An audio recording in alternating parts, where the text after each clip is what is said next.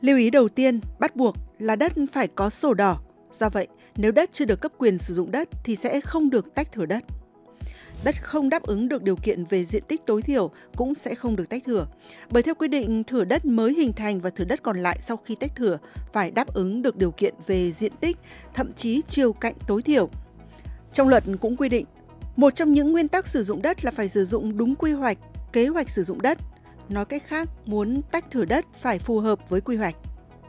Trong Điều 188, Luật Đất đai 2013 đã quy định đất đang có tranh chấp không được phép tách thửa để chuyển nhượng.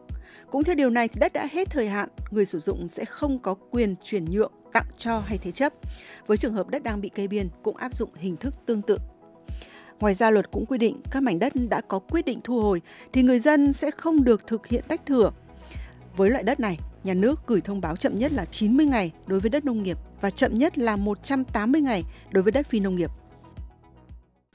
Quý vị cũng cần lưu ý theo quy định của Ủy ban nhân dân thành phố Hà Nội, diện tích tối thiểu được phép tách thửa đất phải đảm bảo có chiều rộng mặt tiền và chiều sâu so với chỉ giới xây dựng là từ 3 mét trở lên.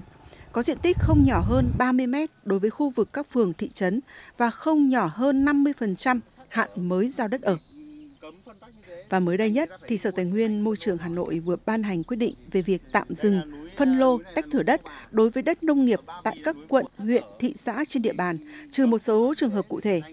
Việc kiểm tra giả soát áp dụng các thửa đất có diện tích trên 500 m2 và đã được cấp giấy chứng nhận quyền sử dụng đất cho phép chuyển nhượng mục đích sử dụng đất trước đó.